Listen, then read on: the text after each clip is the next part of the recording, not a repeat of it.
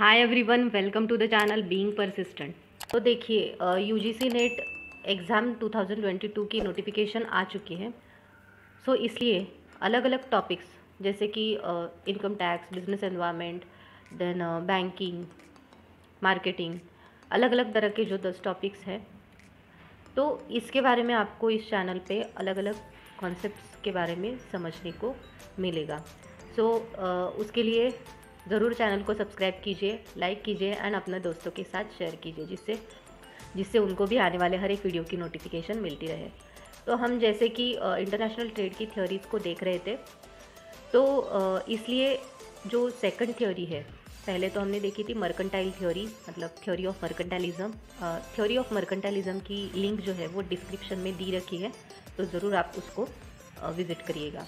Next जो theory है absolute advantage theory जो एडाम स्मिथ ने दी है। तो बेसिकली इस थ्योरी के बारे में अगर जानना हो तो हम शुरुआत करते हैं। तो शुरुआत करते हैं एब्सोल्यूट एडवांटेज थ्योरी तो बेसिकली यहाँ पे ये जो थ्योरी है, जो एडम स्मिथ ने दी हुई है, क्या बोला गया है इस थ्योरी में? It the theory which focused on the ability of country to produce a good more efficiently than another nation yes मतलब एक कंट्री जो कुछ भी स्पेशलाइज्ड प्रोडक्ट प्रोड्यूस कर रही है दूसरे कंट्री के कंपैरिजन में मतलब कंपैरेटिवली वो ज़्यादा अच्छा प्रोडक्शन करती है या ज़्यादा इफ़िशियंट प्रोडक्शन करती है, कम टाइम में ज़्यादा प्रोड्यूस करती है। तो इसलिए इस थ्योरी को एब्सोल्यूट एडवांटेज थ्योरी बोला गया है। In hypothetical two country world if country A could produce good cheaper और फास्टर और both than country B then country A had advantage and could focus on specializing on producing that good.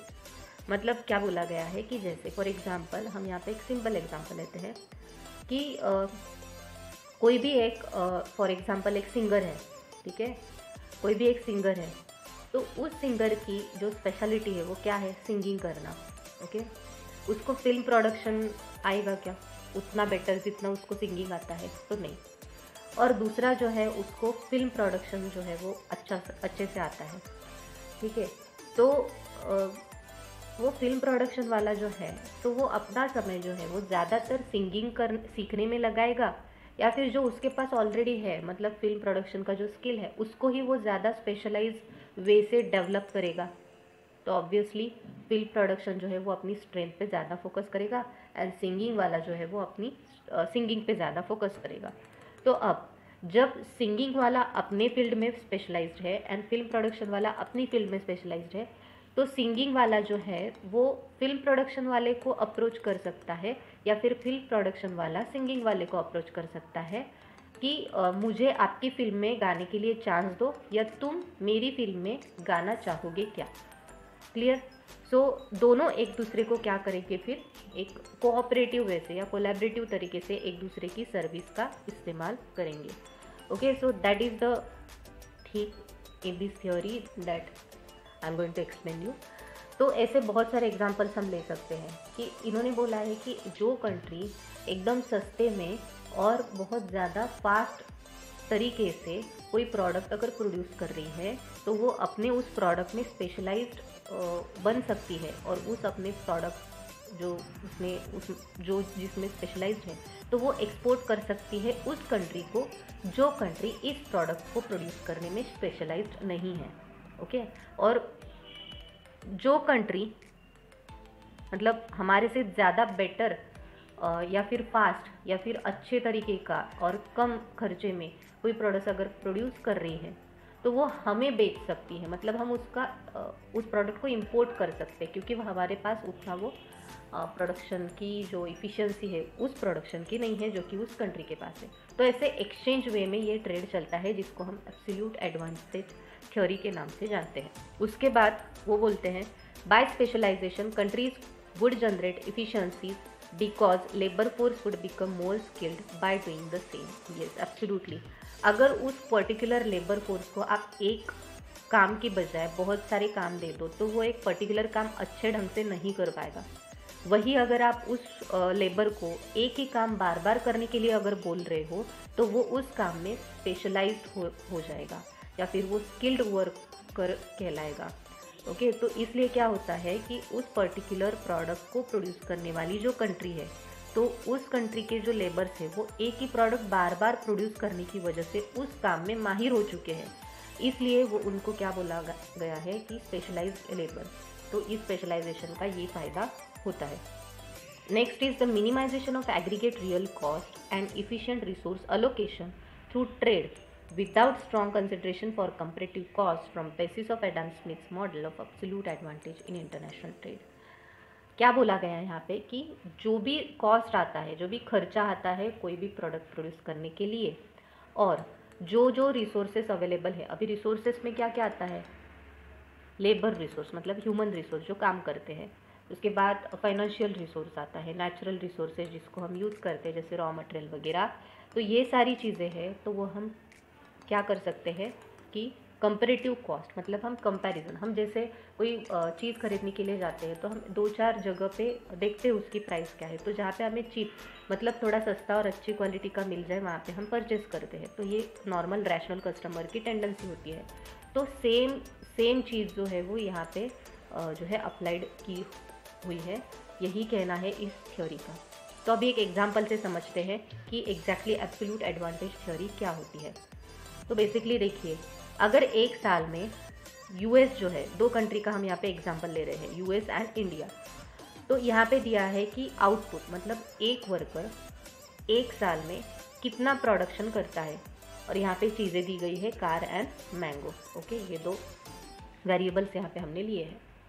तो अगर हम US country के बारे में देखेंगे तो वो क्या कर रही है कि पाँच कार्स एक वर्कर एक साल में प्रोड्यूस कर सकता है ओके पर वहीं पे यूएस कंट्री जो है, वो मैंगो एक वर्कर एक मैंगो मतलब एक केजी मैंगो एक साल में प्रोड्यूस कर पाता है क्लियर और इंडिया के बारे में अगर देखा जाए तो इंडिया का जो वर्कर है तो वो दो कार प्रोड्यूस कर पाता है एक साल में ओके बट वो मैंगो एक साल में चार केजी प्रोड्यूस कर पाता है।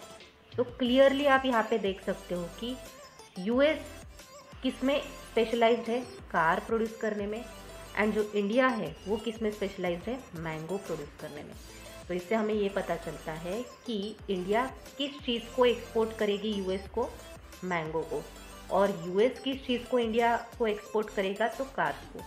क्लियर तो जो कंट्री जिस प्रोडक्शन में स्पेशलाइज्ड है वो अपना जो एक्सपोर्ट है, वो उसमें बढ़ाएगी और अपना जो रिवेन्यू है या फॉरेन एक्सचेंज है, उसके थ्रू अपनी कंट्री को डेवलप करेगी। तो जिसको हम इंटरनेशनल ट्रेड बोलते हैं। तो देखिए, इस थ्योरी के कुछ एजम्पन्स भी है।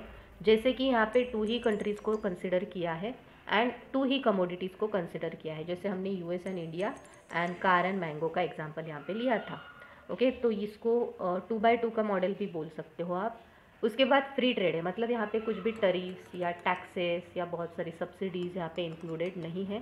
फ्री ट्रेड है। देन है कॉस्ट ऑफ़ प्रोडक्ट मतलब यहाँ पे जो प्रोडक्शन कॉस्ट है, वो मोस्टली किस पे फोकस्ड किया हुआ है? तो लेबर कॉस्ट मतलब लेबर को कंसिडर करके इस थ्योरी को बनाया गया है। एंड उसके बाद लास्ट वन इज़ लेबर जो होता है तो वो उस पर्टिकुलर कंट्री मतलब डोमेस्टिक कंट्री में, अपनी होम कंट्री में जो है वो मोबाइल होता है। मतलब यहाँ से वहाँ वो जा सकता है। बट यूएस से इंडिया या इंडिया से यूएस ऐसा पॉसिबल नहीं है। मतलब वो इम मोबाइल है between the countries okay domestically वो मोबाइल है। मोबाइल यानी कि क्या? एक जगह से दूसरी जगह इजीली वो शिफ्ट हो सकते हैं या ट्रांसफ़र किए जा सकते हैं। बट बिटवीन द कंट्री मतलब US to India and India to US ऐसा थोड़ा सा इम्पॉसिबल है या फिर मोबाइल हम बोल सकते हैं। तो यही थी एब्सोल्यूट एडवांटेज की थ्योरी आई होप मैंने आपकी जो कॉन्सेप्ट है वो अच्छी तरीके से क्लियर करी होगी। और अगर आपको कुछ भी डाउट्स हो या कुछ अलग टॉपिक्स पे अगर वीडियो चाहिए हो तो ज़रूर आप बताइएगा कमेंट बॉक्स में। मैं ज़रूर उस टॉपिक पे वीडियो बनाऊँगी। बट अभी जो है, हम थ्योरीज़ का ही पार्ट कवर कर रहे हैं। इसके बाद जो आएगी, वो होगी कंपेरेटिव एडवांटेज थ्योरी मतलब जो डेविड रिकार्डो ने दी है, उस थ्योरी के बारे में हम जानने वाले हैं। तो चैनल के साथ ज़रूर जुड़े रहिए।